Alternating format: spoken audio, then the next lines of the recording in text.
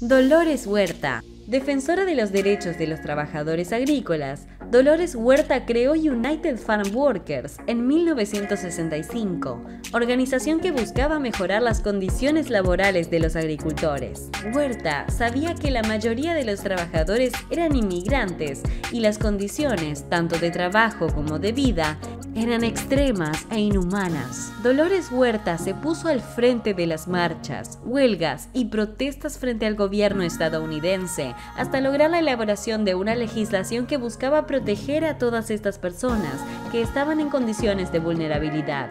Fue una mujer valiente e inspiradora que se paró a hablar por todos aquellos que no podían hacerlo.